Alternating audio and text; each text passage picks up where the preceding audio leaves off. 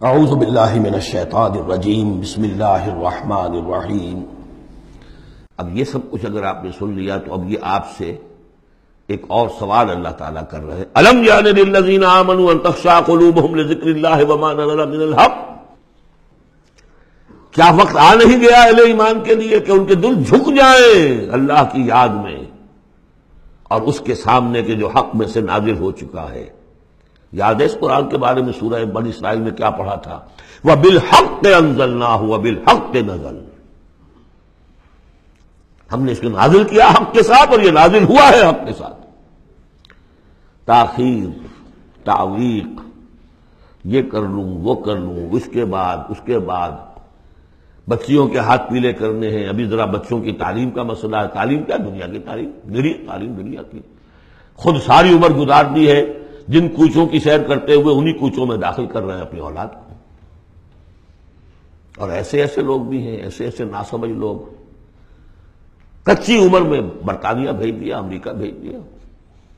और फिर रोते हुए आते हैं। बच्चा बिगड़ गया, बच्चे ने ये कर दिया, बच्चा वो हो गया। ये तो हाल है। अलम यानजीन आमनु तख्शा कलूब हम ज़िक्र हक। क्या वक्त आ नहीं गया किसके मुंतजर हो?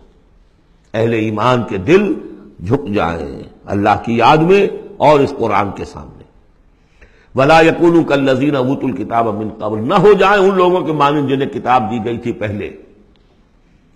फताल आलमद तो जब उन पर एक तवील मुद्दत गुजर गई, फ़कसत कलूब हम तो उनके दिल सख्त हो गए। याद है सूरह बकरा की आयत? सुम कसत कलूबकुम, फहिया कल हिजारत या अशद कसवा पत्थरों की तरह सख्त, उससे भी ज़्यादा सख्त। वह कसीर मिन फासिकून, और उनकी अक्सरियत फासिकों पर, फाजिरों पर मुश्तमिल है। देख लो, एक रास्ता वो है। अब भी ना मुड़ोगे, अब भी ना तोबा करोगे, अब भी ना बाद आओगे तो फिर देख लो। निशान इबरत के तौर पर वो मौजूद है कौम। सुम कसत कलूबकुम, फहिया कल हिजारत या अशद कसवा। ए लमू अब साथ ही जहाँ ये जरा डांट डपट का अंदाज है, हिम्मत अफजाई भी घबराओ नहीं। अगर तुम ये महसूस करते हो कि दिल की ज़मीन, दिल की खेती, ईमान के एतबार से बंजर है, कुछ नहीं इसमें। तब भी घबराओ नहीं, मायूस ना हो। ए लमू अल्लाह बादा मौतेहा, जान लो, अल्लाह कहा, ज़िंदा कर देता है ज़मीन को उसके मरने के बाद। ज़मीन देखते हो बेआबो गिरा बड़ी होती है बंजर बारिश बरसती है तो वो ज़िंदा हो जाती है। अल्लाह तुम्हारे दिलों की खेती को भी असर नौ। ईमान की फ़सल बख्श सकता है। मायूस ना हो। एलमू कदबैन्ना लकुम आयात लाल हमने तो तुम्हारे लिए अपनी आयात खूब वाजे कर दी है ताकि तुम अक्ल से काम लो यानी हिम्मत ना हारो, कोशिश करो। खेतियाँ दोबारा उसके अंदर फ़सल आ जाया करती है, बारिश बरसती है। हाँ लेकिन खेती के अंदर कुछ हल चलाना पड़ता है। बीज डालना पड़ता है, मुशक्कत करनी पड़ती है। तो यहाँ भी तुम्हें एक हल चलाना होगा, वो हल चलाना क्या है? ये माल की मोहब्बत है कि जो इस ज़मीन के अंदर, जिसने के बंजर पैदा कर, बंजर बना दिया है इसको। हल चलाओ, माल की मोहब्बत निकालो। इनल मुसद्दीन अवल मुसद्दिकात व अकरबुल्लाह हसना। व अजरुल कबीर। यकीन सदका देने वाले मर्द और सदका देने वाली औरतें, और जो अल्लाह को कर्ज हसना दे। ये मैं बता चुका हूँ सूर्य बकरा में जब हम पढ़ रहे थे दो रुकू। कि अल्लाह के लिए, दीन के लिए, अल्लाह की रजाजुई के लिए खर्च करने की दो मदें हैं।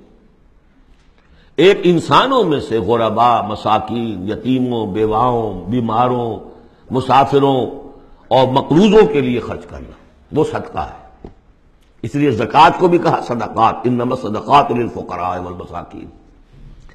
एक अल्लाह के दीन के लिए, उसकी दीन की नशो इशात है, उसके पैगाम को फैलाना है, उसकी तालीम है, फिर उस दीन को गालिब करने की जिद्दोजहद है, उसके लिए साजो सामान चाहिए, उसके लिए वसाइल चाहिए। तो एक है सदका, एक है अल्लाह के जिम्मे कर्ज हसना। क्यों? इसलिए कि अल्लाह के दीन को गालिब करना है। लिहाजा उसकी जिद्दोजहद में जो माल खर्च हो रहा है, अल्लाह उसे अपने जिम्मे कर्ज हंसना कहता है। यह हल चलाना पड़ेगा। माल की मोहब्बत इससे निकलेगी। सदका दोगे, अल्लाह को कर्ज हंसना दोगे। तो ये जो इसने ब्रेक लगी हुई है, जैसे गाड़ी को, ब्रेक लगी हुई है और आप जो है एक्सेलरेटर को दबा रहे हैं तो वो तो लॉकिंग करेगी, वहीं की वहीं खड़ी रह जाएगी, चलेगी तो नहीं। कैसे चले? ब्रेक लगी हुई है। इस ब्रेक को खोलो पहले, और वो ब्रेक क्या है? माल की मोहब्बत। इसका इलाज क्या है? इंफाक। इन मुसद्दीन अवल मुसद्दक़ात वाकरदुल्लाह कर्दल हसन युदाफ लहम व अजरुल करीम। सदक अल्लाह